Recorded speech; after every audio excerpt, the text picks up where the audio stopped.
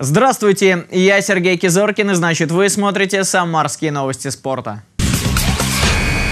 Пять медалей привезли самарские спортсмены зимней всемирной универсиады.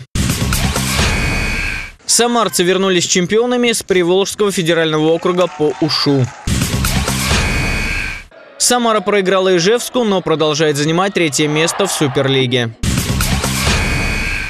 Самара в матче баскетбольной суперлиги проиграла куполу родники. В Ижевске горожане до этого матча никогда не знали поражений. На этот раз все сложилось по-другому. Хотя первую четверть Самара выиграла в 5 очков, но затем соперники устроили настоящие баскетбольные качели. То одна, то другая команда ворвались вперед. Разница в счете составляла символические 5 очков. Исход поединка решили трехочковые попадания в четвертой четверти. Более точными оказались баскетболисты купола.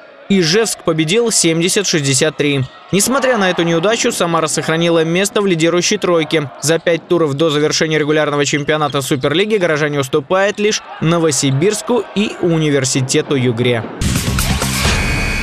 Восемь золотых медалей выиграли самарские спортсмены на чемпионате первенстве Приволжского федерального округа по УШУ. В Казани любители восточных единоборств соревновались в спортивном и традиционном виде борьбы. Сборная Самарской области заняла четвертое место среди девяти команд. 11 самарцев в итоге поедут на чемпионат России по УШУ.